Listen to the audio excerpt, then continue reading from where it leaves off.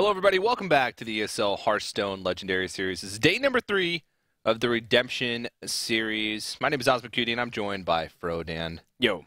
How's it going, Dan? Um, well, we've had two or three matches so far. We're about to have our semifinals, so I'm excited to see where this is starting to ramp up. Uh, we have four players remaining, but only one person can come to the LAN, get their all expenses paid trip.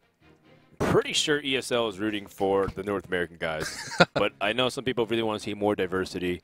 Uh, Spider, or Way Spider's Roger from Taiwan, Korneko from Japan, Soundstorm's from Canada, but he identifies himself primarily more with the you know the Chinese scene, I think. Yeah, he was born there. Yeah, and then uh, Luigi is of course hailing all the way from North America. Mhm. He's from uh, New York, so still a long ways from, from California, but not quite as far. Uh, the Season 1 uh, Legendary Series uh, finals had a few Taiwanese players, Weifu and Pinpingho, and actually the translator for the media piece that we saw earlier was actually Pinpingho, who was talking to Roger. So Oh, that's funny. Uh, very tight knit group of guys. They they all um, practice with each other. You include Tom in that. Uh, Six zero two two nine. yep, Tom six zero two two nine. He's forever changed that number for me Why? because now whenever I see the number sixty thousand two hundred and twenty nine, I'm gonna think of Tom. It happens quite often. I'd assume. No, it's never happened. but every time I do see that number, I think of Tom. Well, I'm Also, because Tom six zero two two nine is my doppelganger. Oh yeah, that's true. He From does- like a certain angle, Tom six he looks exactly like me. Now I understand there's a lot of jokes out there already about you know whatever Trump, Maz, Hafu, Masan type of thing, Mhm. but specifically with Tom, there was this one angle at BlizzCon where I was watching him and introducing him, and I really thought that was me for a second. that's got to be a really scary. It was a trippy moment because I thought like the camera transitioned and changed away from me, but Yeah. it, I- it wasn't me. But I thought it was me, so I stood up straighter, like because he was slouching over, and I was like, "Wait, that's not me." Yeah, that that would be a little bit of a weird experience. We'll be seeing Yeah. Tom tomorrow, actually. yeah, he's in Group D. Yeah. Um. So he participated in, in the Legendary Series earlier, uh, but right now it's Roger's time to shine, or not shine. And of course, he'll be facing off. Or against- not shine. well, that's true.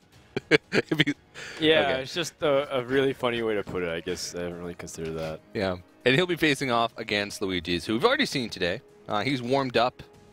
Uh, he's rearing and ready to go. He had a really good series early in the day against Azuzu. Mm-hmm. It was 3 0. Well, I do want to emphasize that Spider Roger, or some guys, gonna, it's just Roger. Just I want to emphasize that Roger's up at like 7 a.m. and Korneko he was up at like 5 a.m. So really tough hours for those guys to mm-hmm. play. Spider Roger, a big fan of Spider Man. Yeah, but Spider Roger doesn't quite roll off the tongue. Maybe it was Spider Raj, No. It doesn't but then you confuse him for like an Indian superhero Yeah, because like Raj is a really popular name. maybe true. It's like a, sounds like a really bad Bollywood video or Bollywood movie. like a music parody video. They Yeah, make a lot exactly. The Indian people are so funny, man. When they make the parody music videos, I laugh so much. yeah, they churn out more They're, they're so funny. I love them. Yeah. All right. Well, we're going to jump into the first match here. It is going to be Luigi's on the Warlock, and this was the Zoo uh, the, with the Argent Squire, so a little bit different take on it. It was like uh, uh, sort of the mid-range Zoo, or uh, I don't know. It's it's the the line blurs Let's so just much. call, let's just say like a, a retro zoo because he's zoo. got the Dark Iron Dwarf, Yeah. the Argent Squires. Uh, those are much more board centric approaches. but he still has cards like um, Implosion, and we actually didn't get to see much of the deck, so it's possible that it tops out with Right. uh, some bigger threats. We saw Sea Giant as well, and of course Spider Roger, Spider Raj Spider Raj. does everything a Raj would do.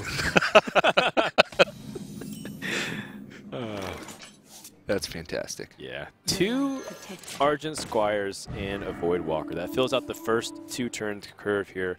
And we have that Patron Warrior from Roger.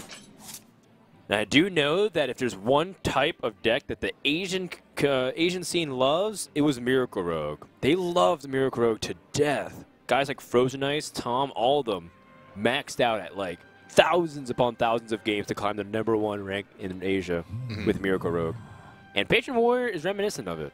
Got a lot of combos, got a lot of draws, got a lot of ways to survive, and uh, ultimately plan out through counting. Yeah. But I, I would think I would assume that Patron Warrior is even harder than Miracle Rogue was. I know people always say Miracle Yeah. Rogue is one of the epitomes of difficulty in decks, Yeah. but Oh. I think Patron Warrior is up there too. Miracle Rogue was uh, had like the the one win condition, the singular win condition, but the hard part was getting there. With Patron Warrior, it's still hard getting there, but then you have multiple ways that you win, and the ways that you do win right. are harder to accomplish.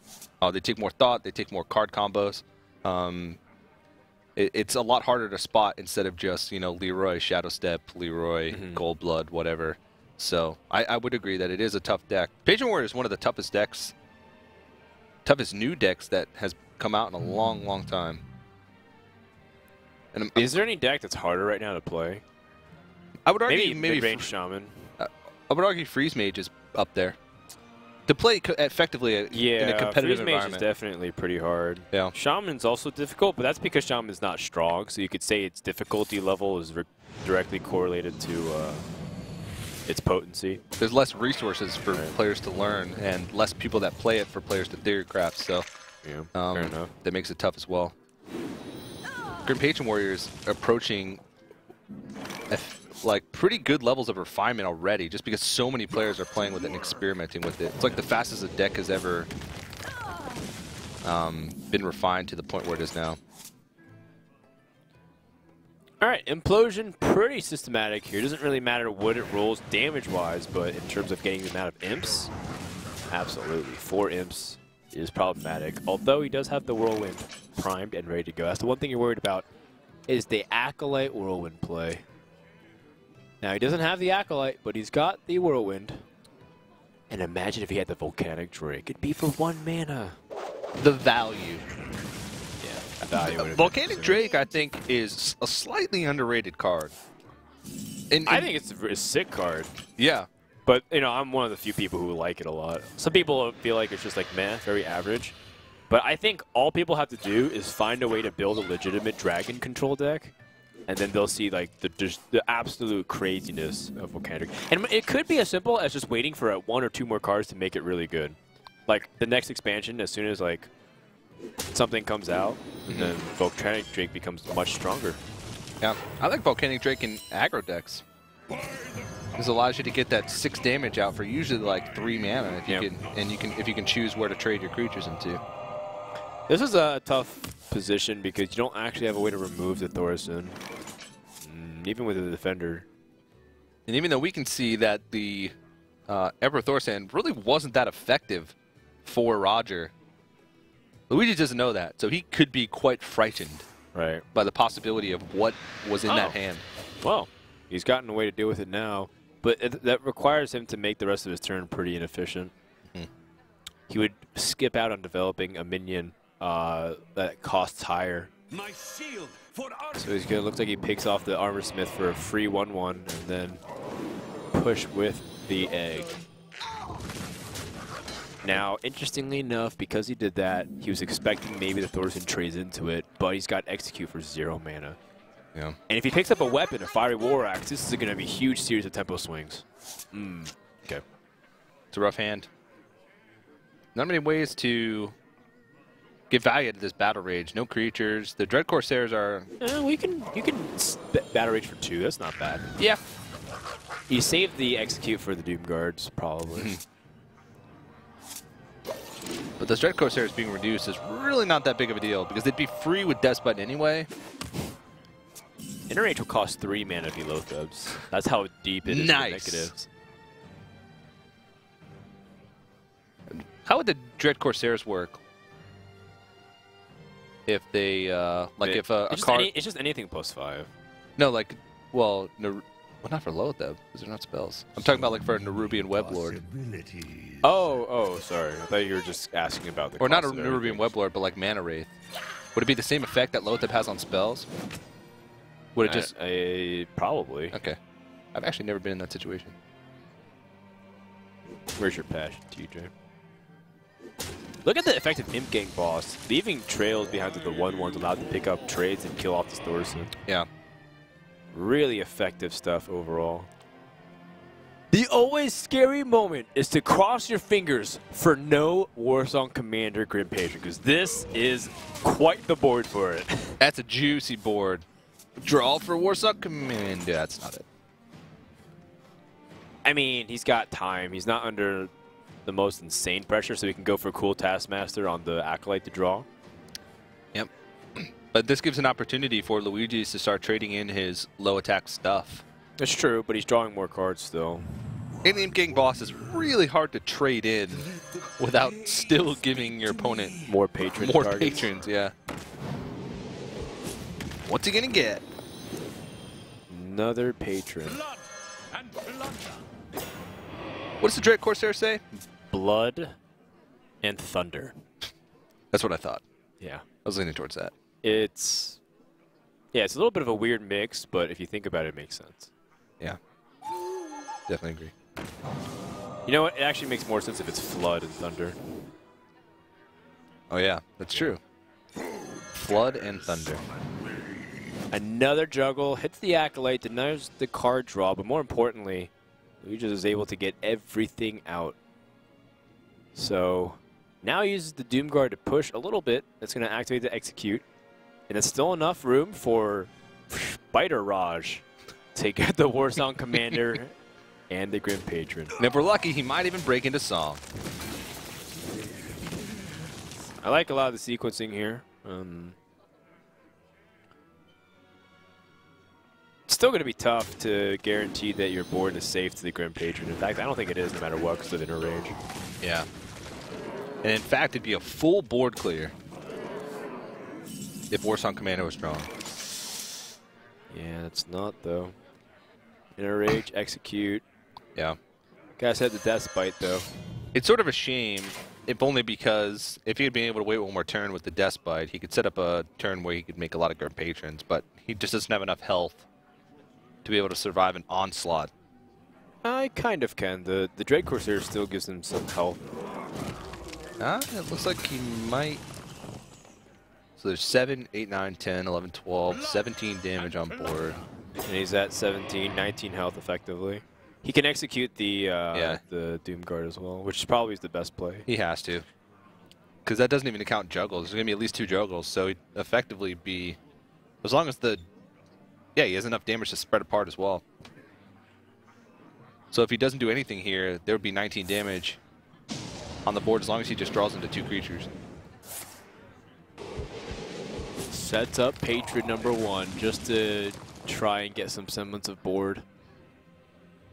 He's going to force uh, the Nerubian to attack into it. That's actually pretty smart. If he forces the Nerubian to attack into it, then he doesn't have to worry about attacking into the Nerubian for the weapon charge or giving up the patient. So he's basically all in on the War Song. Luigi's looked slightly confused by the Grim Patron being put down. Ooh, that's perfect. Loatheb and Sea Giant. And his opponent can't even brawl. Yeah. Basically secure the game. I mean, it was looking pretty bad for for Roger. Yeah, to begin Even with, without it it. wasn't very sharp. The thing is, oh wait, he doesn't want to juggle. the thing about uh, playing the Loatheb and the Sea Giant was the the juggles on the the Grim Patron.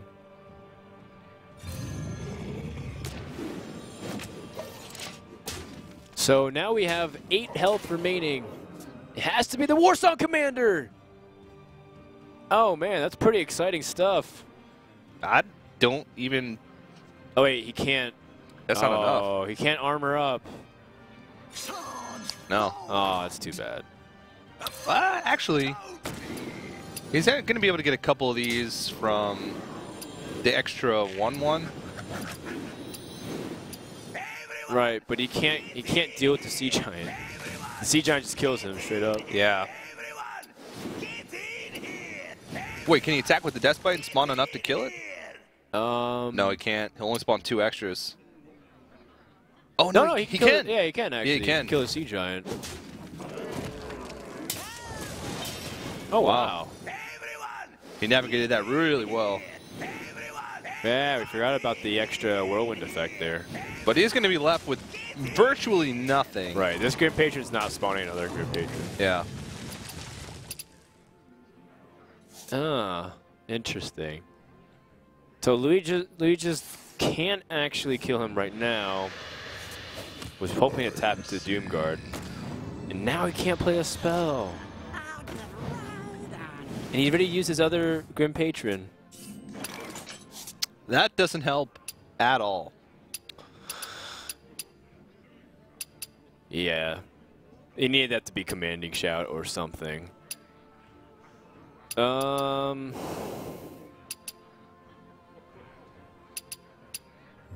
Well, what's the best play here? Not Whirlwind. Because there's no way you can navigate it where Whirlwind has any effect. You have to kill the Loatheb, like with both of these creatures. Well, you can kill off the imp and then try to push if you're if you're assuming your opponent can't draw two damage. Which is kind of unlikely. Right. But if you're playing around like power overwhelming, either way you die. Because it would be seven damage even if it was just on the imp. Yeah. So you might as well just take the risk, but Yeah, uh, this makes a lot of sense considering that's his that's like technically his best chance to play. Yeah. But he's got a lot of damage. Uh, and Luigi's was he had his number from the beginning. This is partially why Zoo is still pretty strong because the pressure puts on Grim Patron is a little bit too much sometimes.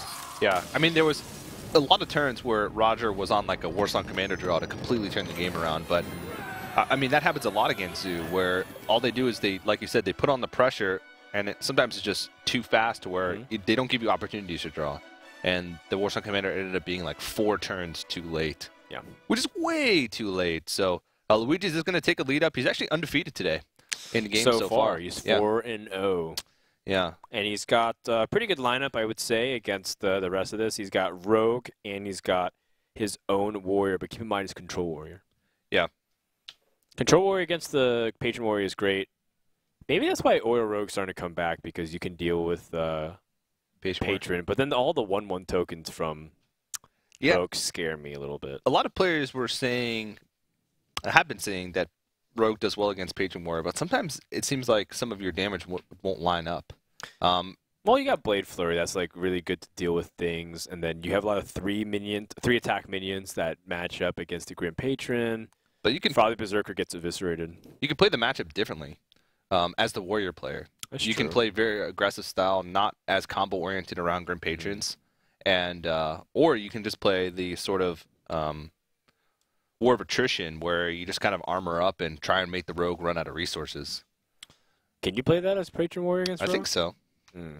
I've done it a couple times, but Feels unlikely considering that Armor Smiths are your only source of gain health, and you don't pressure as as strong as Control Warrior in the late stages of the game well, you have the yeah with like huge bombs like Alexstrasza and stuff. Your removal lines up nicely with the threats that Rogue puts out because it's like three threes and mm-hmm. and Violet Teacher is like all they're going to put out. And we saw earlier that even Grim Patron Warrior can gain absurd amounts of health. It does feel on the more optimistic side, that's for sure. Yeah, it's very it's a secondary to a secondary win condition. Druid is the one that's choice chosen by Roger. That means that uh, Luigi's is the one disadvantaged here. He's got a control warrior, but it's just pretty basic control warrior. We haven't seen dragons in it, unfortunately, beyond Alexstrasza. Luigi seems like a I don't want to call him a basic kind of guy because that kind of sounds like an insult, but he Well, it is if you say it to a girl. Yeah. But Luigi's is uh, he likes just standard classic decks. He doesn't like to try and it doesn't seem like he likes to try and innovate. He just likes to stick with what's known. Get wrecked. Yeah. Not get wrecked. Yeah. It works for him. He plays him uh, nearly flawlessly. You don't have to innovate but to be considered a good player. You essentially just called him boring. He's not boring because his play is fun and interesting because he wins. Winning is fun and interesting. Winning is fun. It's Yeah. not always interesting, though. Yeah. I'm not saying that uh, it, uh, you know you guys should lose interest at all. Yeah. In fact, there's plenty of room for these guys to surprise us. But Yeah. in terms of uh, expectation, it's it's definitely uh, pretty run of the mill. Although the cool thing is the rogue. I mean, the, he is bringing a Yeah. different class to the table that Lu- most people have ignored. Luigi's has been around for a while. Luigi's has won Dragon Warrior. Luigi's has won 15 open cups. At- 15 in this history. in his history. And he took a six-month like one- break that's like once a month between, on average. between NESL, Zotac, and the old Mana Grind tournaments. 15. He's won. it's crazy. That is crazy. Spider Roger no play on turn one, decides to just pass. Not, no innervate shade. And as a result, Ysera and all of her peeps will just comfortably wait. It's Dragon Warrior, I forgot. I yes, Ysera, that makes it Dragon Warrior. I want to delve into your creative mind here for a second, Dan. That's all I have, TJ. I don't have anything else in mind. okay. Well, after that depressing statement, what if you had to add like one dragon that would just like unlock all the other dragons? Like if you had to, you, you can take the whole broadcast as long as you tell me by the end of the broadcast what this Like answer what, is. how I would design a card to unlock other dragons? no, like what dragon would you implement in the game? Like if there was a dragon card. Like from WoW lore? No, no, just it does, you don't even have to name a specific dragon. Just the effect of the card, like the mana cost and the effect. If you had to create a card. Um, Because I know how much you love dragon decks. I've been seeing you trying to experiment over the past couple days um, with your dragon decks, and it seems like you've been disappointed in losses that you felt like you should have won. Uh, probably a dragon, a three mana dragon that does something similar to Arcane Explosion. You just need something that fits the curve a little bit better, and then it addresses the board because dragons are super powerful. It's like if you're holding a dragon, deal one damage to all enemy minions. So Dread Infernal Dragon. Kind of, but for three mana because it needs to fill the curve, or even two mana. Two mana would make sense too. Okay. If you're holding a dragon, deal like one damage, and it'd be like a two-two. Okay. Kamikaze Whelp. Explosive Whelp. Except it doesn't. Except it doesn't damage your own minions. Explosive Sheep with wings. With dragon wings. Explosive dragon. Explosive Dragon. Yeah, it's what I call my sushi rolls at home.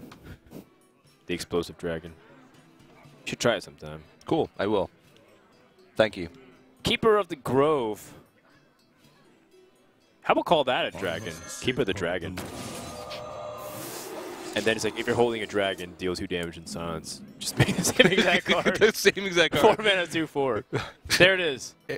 Or how about this? And really be a troll and make it druid only. Acolyte of Dragons. every time, if you're holding a dragon, every time this takes damage, draw a card. That's a worse acolyte of pain.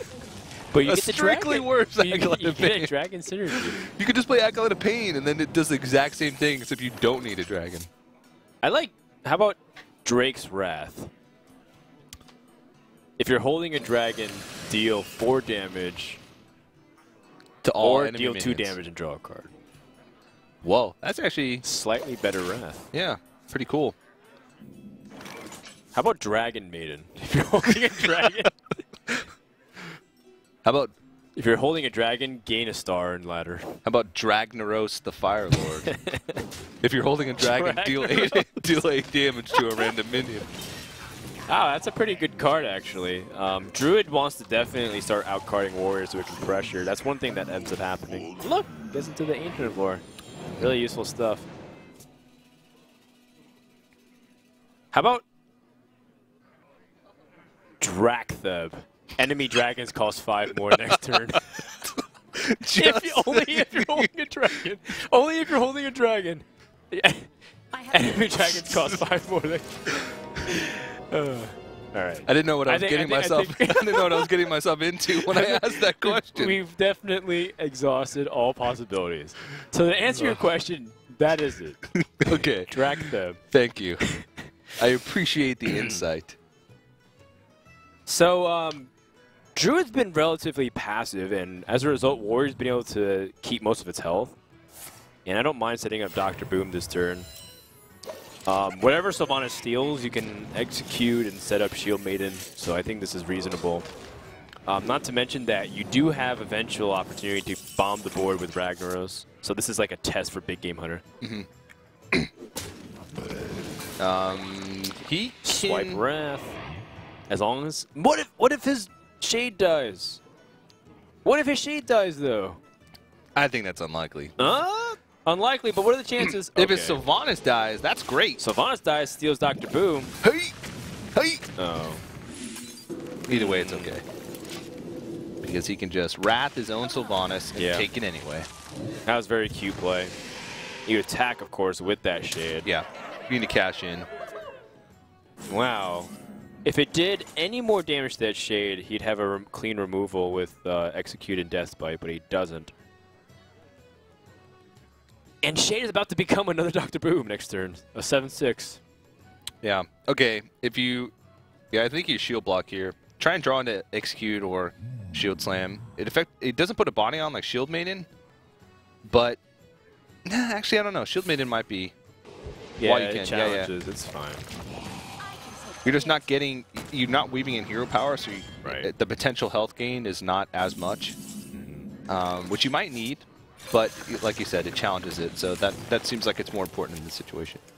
Ooh, Harrison Jones. Yeah, you know, Sp right, Spider Raj has definitely got the number. Mhm. Like, there's no way he's gonna get stopped this game. He's looked like he's played. I mean, he, he's got this. this he's got this matchup on lockdown specifically. Like, he's got Harrison Jones against the Warrior. Uh, he's being able to think of some of these moves really quickly.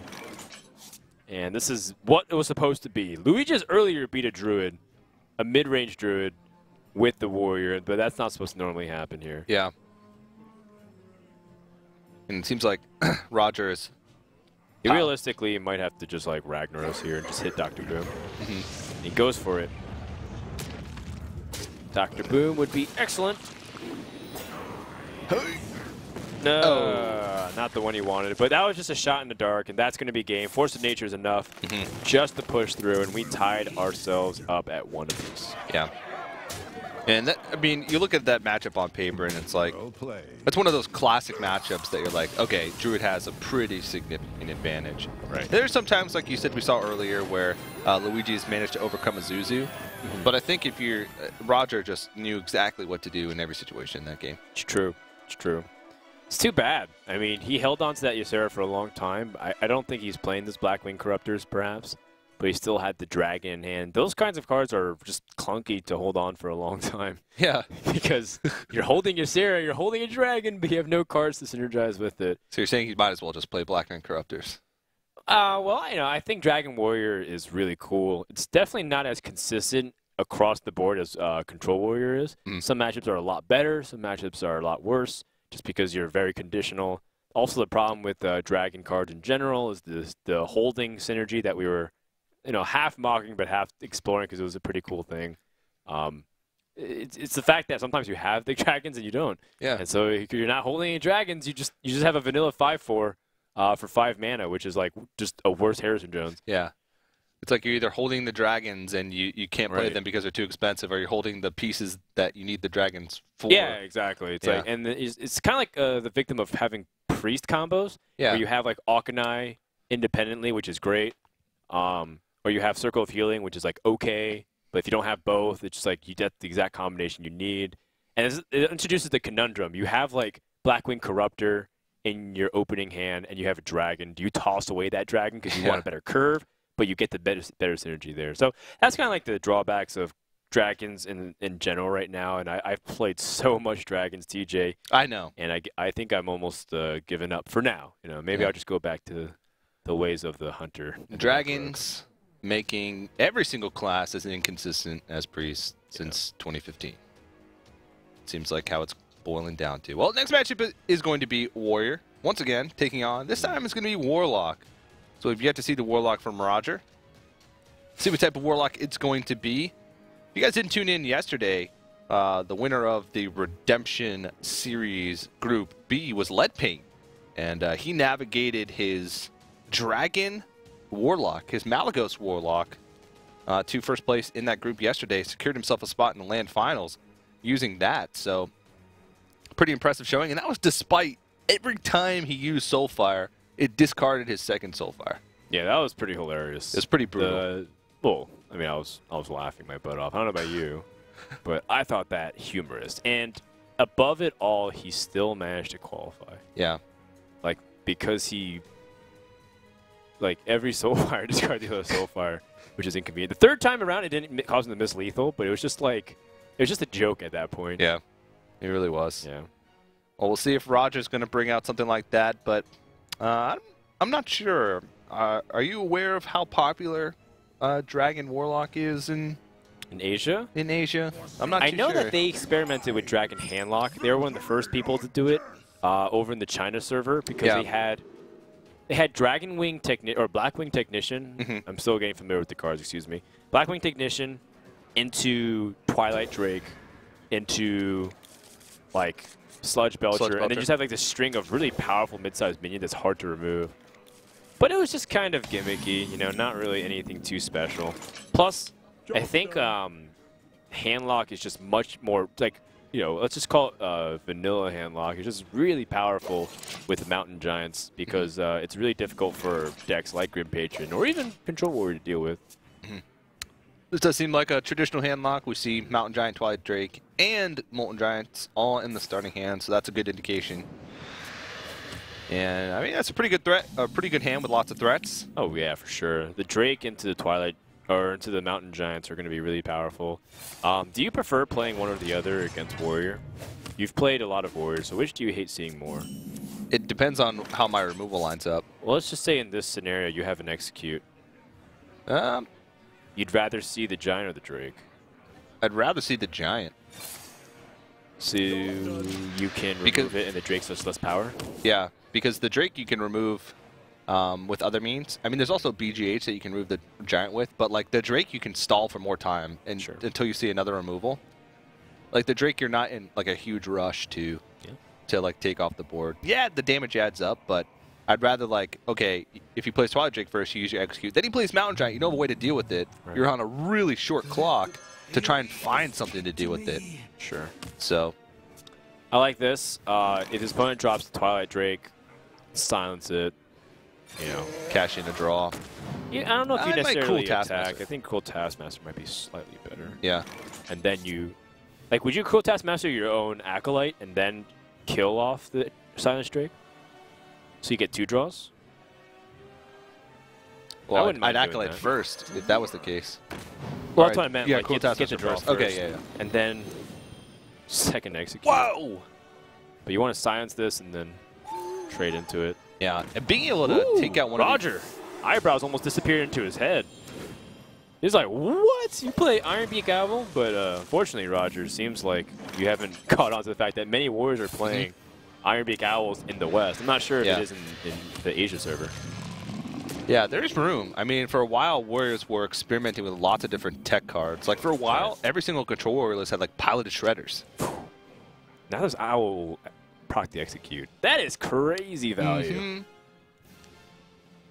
And you can drop Armor Smith too to gain an armor. Why not? Oh, he he has Thaurissan too this turn.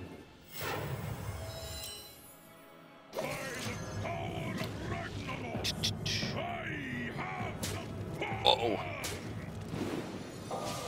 Okay. I'm actually somewhat curious about this. Yeah, I was looking at that and I was like, it looked like he never even moused over the mountain giant. And I was thinking, did he not remove it? Because, you know, spectator client takes a, a few seconds to catch Huh. up to the actions. And he didn't. He just ignored it. Yeah, I'm actually really curious about that. But uh, at any rate, ends up just killing off the Thaurissan. That's probably going to just make him play his own Thaurissan. So Yeah. that way he gets a full 10 card discount. I'm always Actually, it's 9 cards, excuse me. He's What- holding 10 cards. one of the things that I always try to do against Handlock when I'm the control warrior player is trying to be conservative with my removal.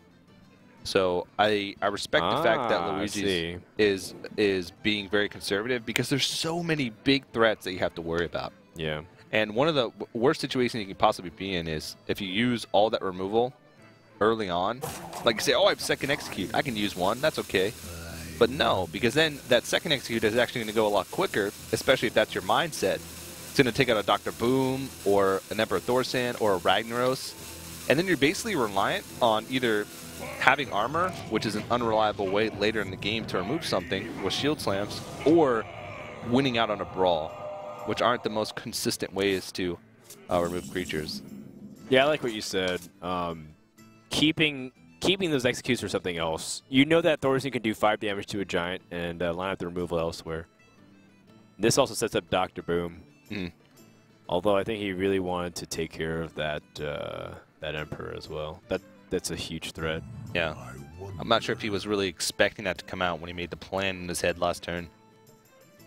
It's always a possibility on 6 mana, but you're more anticipating things like tap, Twilight Drake number 2, tap, Mountain Giant, like, you know, maybe Sludge Belcher, Loatheb.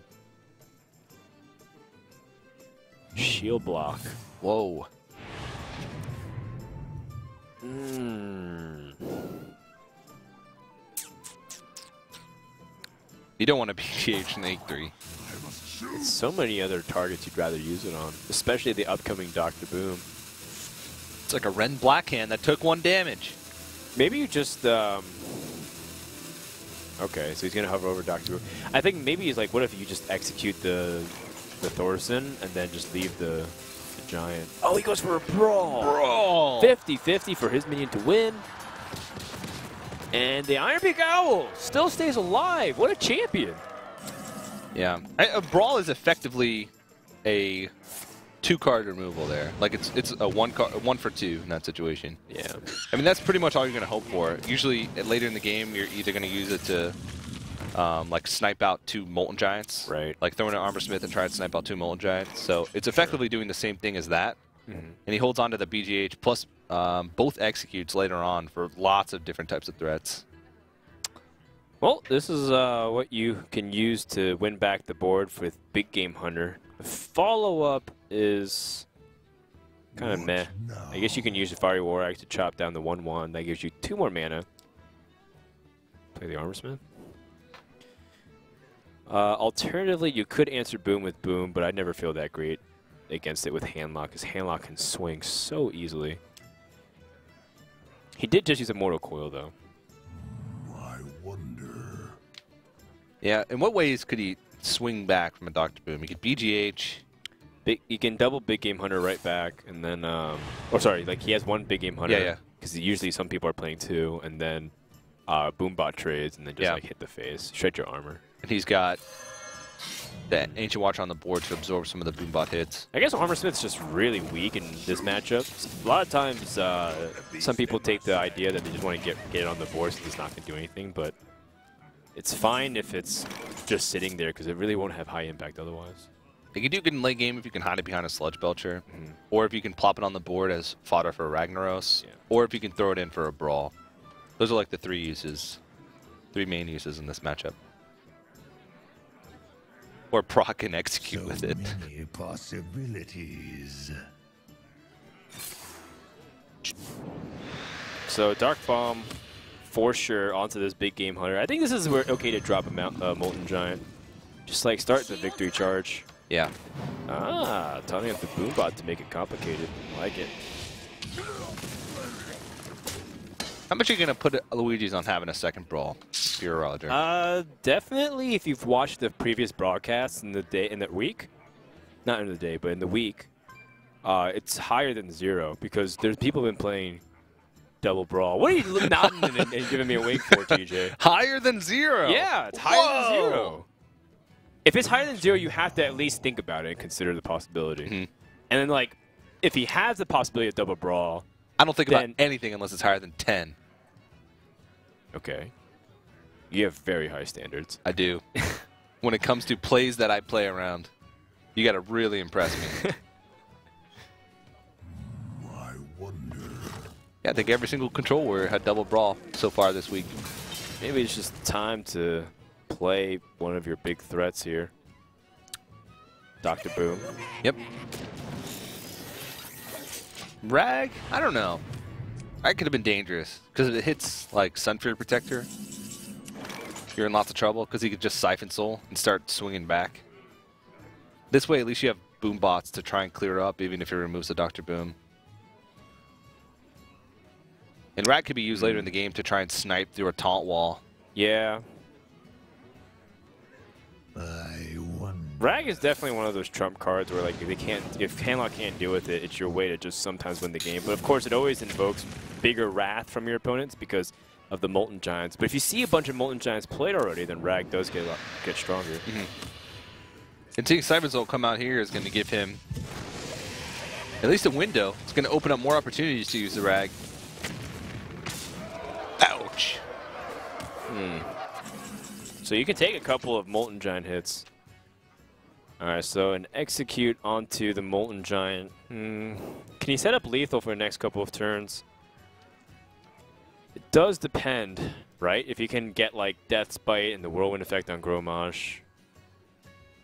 What now? The Ancient Watcher being the only thing with taunt poses a problem. Because if you the only thing you attack into this turn is Ancient Watcher to set up like the Death by Death rattle to um, go for a Grom next turn. So looks like he's gonna pave the way. Yeah, it doesn't. You can just play like the armor smith here. Yeah. That can allow They can to push be through. pretty resilient too. It's not like he's gonna shadow flame the the, the two armor smiths. Screw your armor smith, man. Ooh. Well, there's a lot of things that he, that he can do to pose a pretty big problem. It's not bad. Yeah. Now you can play the mountain giant and the sludge belcher. Mhm. Generally speaking, you always are mindful of the combo from uh, Grommash. Yeah. It's not quite as frightening as like Druid combo, but it's still something you have to play around every turn. It's a lot easier to play around because all you need is like one taunt. You know, it's a very uh, one-dimensional combo. It's like he he has to find a way to hit face with one creature. He is three damage off lethal right now. And that mountain giant is problematic. Might want to execute that too, but he's running out of removal spots. This is where the handlock's really making a really strong push to seize back the board. Yeah. Because now Mm. the Warrior's in a spot where he's trying to set up lethal.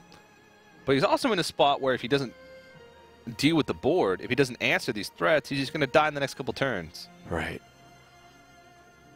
I guess he could stall it out by playing things like Sludge Belcher, but that's pretty weak, all things considered. Get rag.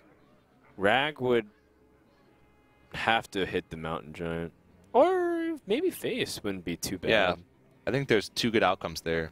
Because there'd be a slime left No, over, no, no. He has double heal bot. He, hitting Face would be awful, I guess. you got to go through that eight damage eventually from the heal bot. All right, he's going to execute the Giant. And then uh, go ahead and try to push through. Oh. Oh, man. I wasn't anticipating him just going for it. But Wow. uh, Spider Roger's got a lot of ways to handle this because he's Spider Raj. does everything The Spider Rod does. Spider Raj does. He puts himself in a position where he can. No, he can't because anti-healbot's almost s- certainly going to be played Right. this Antique turn. bot and then taunt. Yeah. And that'll basically get rid of any opportunity Luigi's had at winning because that was like his win condition. Right. Yeah, you could see He was he, hoping Rag would Yeah. be the finisher. he winced when he saw the heal bot come out. Ooh, that is domination on the board. Ooh, Roger rubbing his hands together. He's getting warmed up. and unless the only chance was if he drew Fiery War Axe. Can you imagine? Fiery War Axe to the face, Yeah. rag shot, field goal. He's still keeping that dream alive. Maybe Fiery War Axe getting a drawn. Maybe his opponent won't play a taunt. Those are he's got both. yeah. Those are things that you Or does he even Really have lethal that we don't on. see at the moment? He's got uh, 24, 26. Uh, no, he was short damage by two, I think, for lethal. My shield for Argus. It's crazy. So he's on a brawl to just survive. Oh yeah, second brawl might be helpful. Nah, Shield Slam came way too late. Yeah. It's going to be at 18. There's still going to be, yeah, 19 damage left on the board. Oh, no, no, he's going to be good. He'll live. 12, 14, 19 damage. The 23 health. He has a chance. If he has a chance his opponent taps and doesn't do anything else.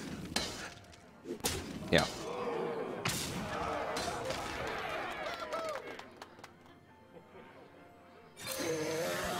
Yeah, but I mean the antique heal bot. So now it's basically that brawl that you were mentioning. And even then, it's going to be rough. Because a lot of the outcomes Right, are... the two three has to survive. Yeah. Okay. That's about it. Plays Ragnaros just to see where it hits. Well, Although I'd be scared to use up the good RNG because if it hits the Molten Giant, it might never happen again. Okay, he got rid of the bad Got rid of the bad RNG. There we go. Yeah. Get it out of the system. I, I- I don't know about that from Luigi's though. I guess getting out the bad RNG, if you believe in like if you're superstitious, but you're also revealing cards. Exactly, like yeah. Because if you're the loser in that situation, not revealing cards is actually uh, a good thing because you're going to have to play that deck again. You have to find a victory. And Rack's not a card that's like a 100% um, control warrior um, inclusion. So, I don't know. Probably won't matter, but small things like that could end up making a difference. We'll have to see. Luigi's on the ropes now. Well, I think he's still okay. I think he's got that patron warrior that he has to face off against, so he might just requeue this control warrior one more time, Mhm. and then he's got rogue versus the patron warrior, which Yeah. should be okay. So I think um, I think he's still in a decent spot. Yeah, he's got the. Uh...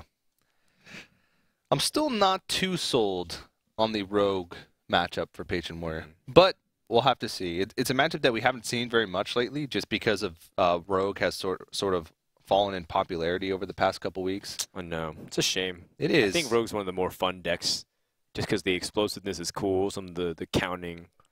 Um, you know, of course, I listen to hyped talk about rogue all Yeah. the time. I love counting as well. Yeah, I like counting. I just, you know, I'm, I'm not that great at it. Yeah. Yeah. Yeah. Oh, that's right. Yeah, hyped. I'm sure you guys talk a lot, and he's like one of the biggest advocates for Rogue that exists on the entire face of the planet. And That's Gara right, for Shaman as well. See, everyone keeps saying that, but that's how you know that no one else has anything to say like about it. If you just start going off titles like, "Yeah, Gara, he's he's the best shaman," it's like, wow, that's you don't know anything else to say about him. It's beca- it's becoming a joke just because his name is Garabesh Shaman. well, his ID used to be that. Now he just shorthanded to Gara. Oh, really? He changed Yeah. it. His Twitch, his Twitch. No, no, no, but Oh, uh, yeah, like he is in general his other handles. Like for example, Powder from Trig used to be White Powder, or uh, I didn't know, know Purple that. Drink is now just purple. Yeah, he's just purple. Yeah, yeah. we're just waiting for a couple of other colors to join Archon. They they have the rainbow. Yeah, Well, we'll see if any players with colors can win any tournaments in the near future. Yeah. So you know, Gara doesn't really focus too much on Shaman. He he actually really likes you know classes like Hunter or Mage. He actually really loves Freeze Mage. I think Hunter would probably be the, the deck that I would call Gara's not signature deck, but the one that he's probably played the most, at least over the past couple months. Yeah, I think people a lot of associated him with Ramp Druid because that was the tournament he won with. Yeah. In the time when Hunter was dominant. Yeah. So that was pretty cool. Other than that, though, I mean, he doesn't really play too much Rogue, Mhm. and uh, Rogue is going to be that interesting class that Luigi's uh, brings to the table here, and see Yeah. if he can go all the way. The winner of this goes on to play the winner of Silent Storm uh, versus Korineko. We Yep. have a couple of Japanese fans actually here in the studio talking to me about Korineko. They're like, "Yeah, I really hope he does well." Um, you know, they, they're like, "Yeah, I saw him. You know, maybe he wasn't playing his best. It was like 5 a.m. in Japan. It's really tough. He's also really young. He's like 18, Yeah. something like that." And uh, that, that kind of uh, combination of factors might end up being like a spot where you get really nervous or you're just uncomfortable. You're, you know, you're in a really bad time zone. Thousands of people are watching you. Yeah. We had an interview with him the other day, and um, he asked if he was like afraid of any of his opponents, if he was nervous or intimidated, uh, because he is young, he's not as well known, and some of these other players are a little bit bigger of names. And he said, "If you're afraid, then you've already lost."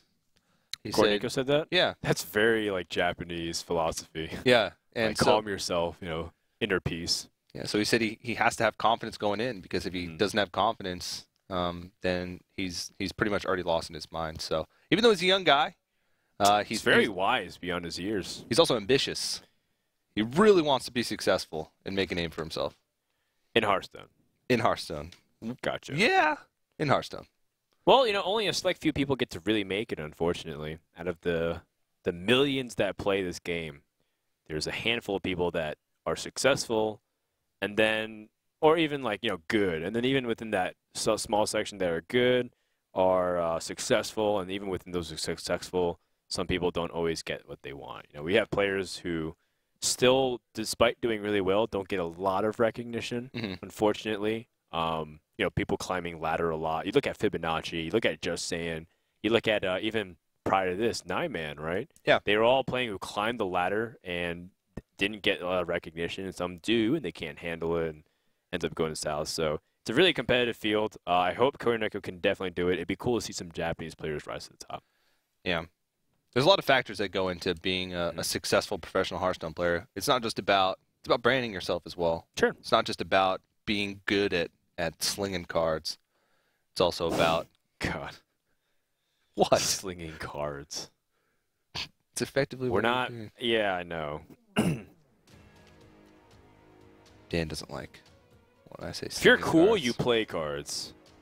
If you're really cool, you, You sling, cards. Yep. Dan, don't go near that sword. Why'd you say that as soon as we were off camera? it's gonna be Warrior versus Warrior. This is kind of what we thought about it. Roger took a bathroom break, probably to put on his costume, save a life, and come back because Mm. he's Spider Raj. But is it the black Spider Raj costume? Ooh, the evil Raj that Mhm. comes out. Yeah. Venom. Has he been able to battle against his inner demons? I don't know. Will he defeat Luigi's? Will. I wonder where Luigi's names came from because it. I mean, I, I obviously the, the first thing that jumps to mind is like the Mario relationship. It's his first and last name. Oh, is his real name Luigi? No. No. that's a pretty sweet last name if your last name is Ez. With Yeah. two Z's. And if your first name was was Luigi, Yeah, but he could be combining like the first half of his name with Yeah, the yeah, that's possible. name. Yeah. uh, I don't think that's it though. All right, well, we have uh, Warrior versus Warrior, but it's Patron versus the control based. And this one is really tough. We've seen several approaches to this matchup. One is to be really defensive, armor up, play as little minions as possible, Mhm. and let your opponent combo and just exhaust them out. The second is to be a little bit more proactive, try to Yeah. stay the control of the board, and flip the aggression if it's appropriate. Yeah. You have a while before you have to actually decide which route you want to go.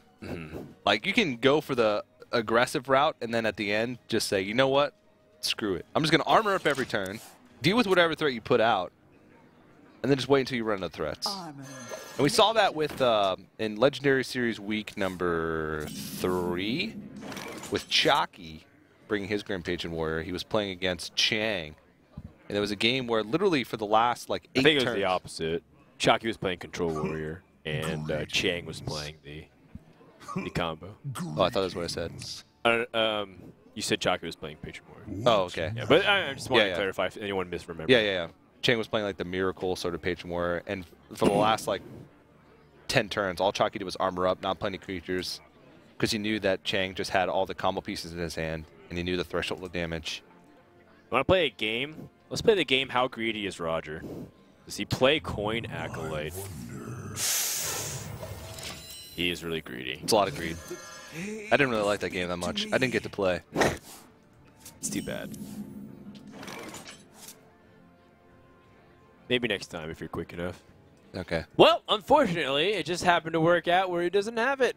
And that's why ultimately people would argue that you shouldn't play the Armor Smith unless you have a, a weapon guaranteed for an Acolyte.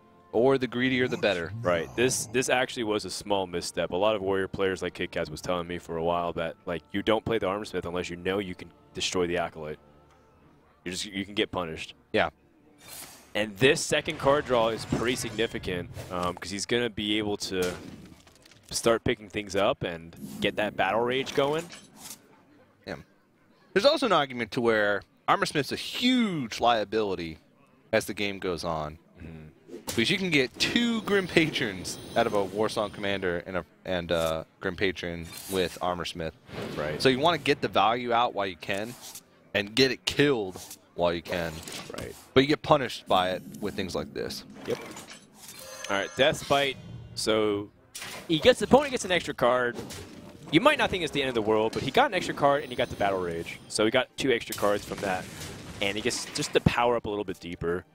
And if this next card, Holy yeah, moly! that That's a Thaurissan hand. is so huge here.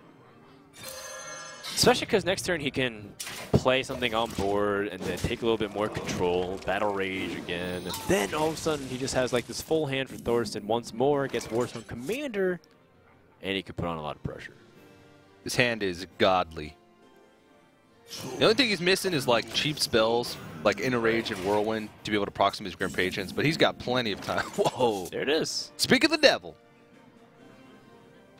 So uh, do you play a, a Grim Patron here and then just activate it, or do you do you hold off and do something else, just play like a Frothing Berserker and toss it out just to get killed. No, Uh, they can't yeah. it. I think the Frothing Berserkers are like just as valuable as the Right. Grim Patrons in this matchup. And And the the Grim, patrons are like not the MVPs because there's so many big minions. It doesn't really get much yeah. Frothing Berserker is one of the main. It's like against Priest. You can set up big combos with Frothing Berserker late game, whereas you just want to make the Grim Patrons really tough to deal with. Like right now, he has to execute a Grim Patron and attack into the other. That's just a pretty clean way, but I mean, it's just like one card.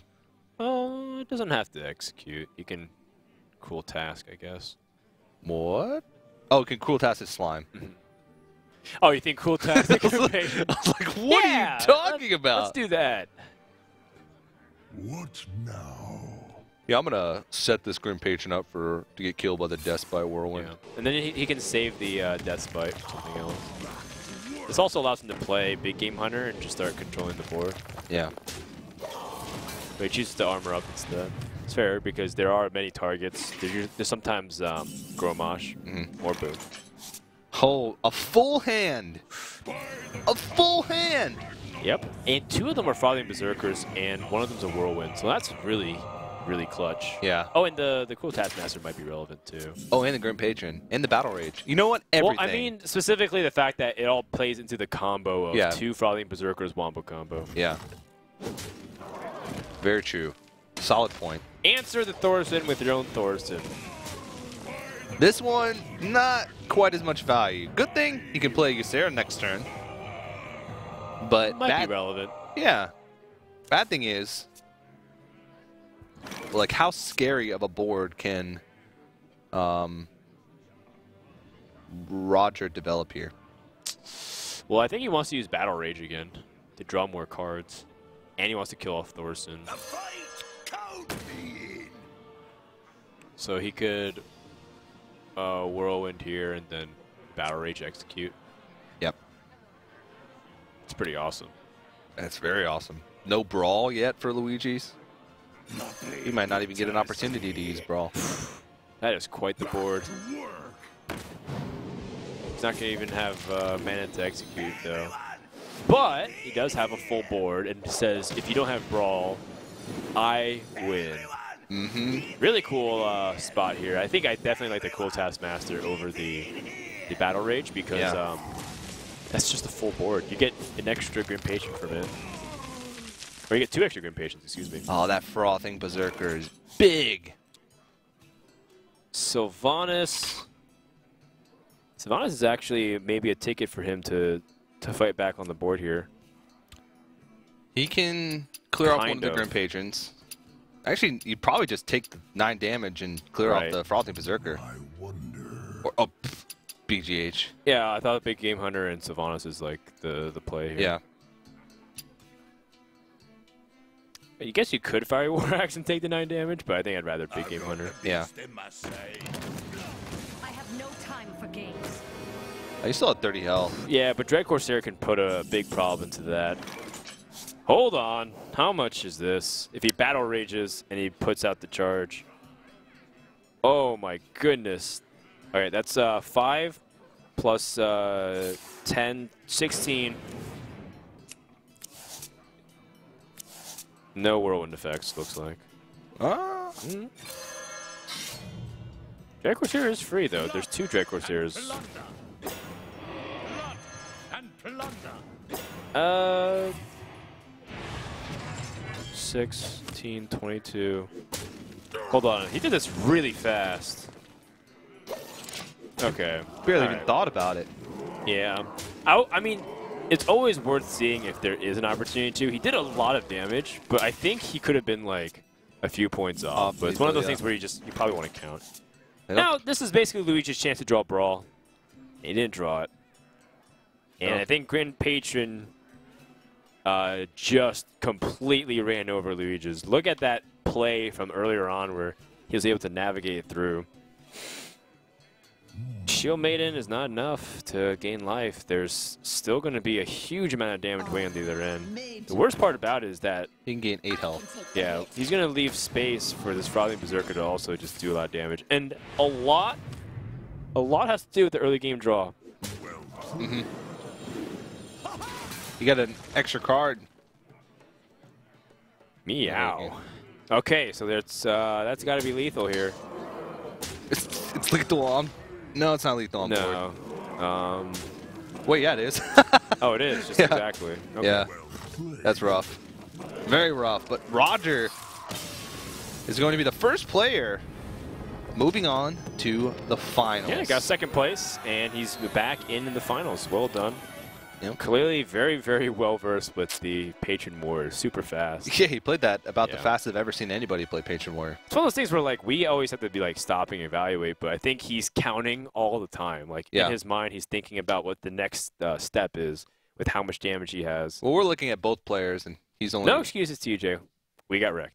Yeah. I also had something in my eye for like half that last match. Oh, so those were. I think there was something like rubbing on my leg. So that's why the tears. Sorry about that. Yeah, But you know that's why you were crying. I get it. Or is Yeah. it because I was touching your leg? I don't know. a little bit of both. Roger goes to the finals, gets second place guarantee, but that's not good enough just yet. He'll face the winner against Silent Storm versus Korineko. Yeah. And now that LuigEzz is eliminated, that means all the native people from USA are gone from today. We have a Japanese player, a Taiwanese player, and a Canadian Chinese player. hmm Yeah, Canadian, and he was born in China, but Born in China, moved to Canada. Yeah. Kind of identifies more with the Chinese scene. Mhm. Uh, in fact, for the season one finals of the ESL, he practiced with Tither Celestial, who helped him win the tournament. Yeah. And that ends up becoming the paving the way for him to get on Team Celestial. Really cool stuff. And I just want Silent Storm to play in more tournaments. He's a really cool player. yeah, he's a fun guy. Even though his awkward interviews didn't really do his personality justice, he's a he's a really good kid. But Silent Storm's going to be looking to make his way back to the Legendary Series LAN Finals, and Korineko is going to be looking to make a little bit more of a name for himself. That semifinal plus the finals will happen after this break.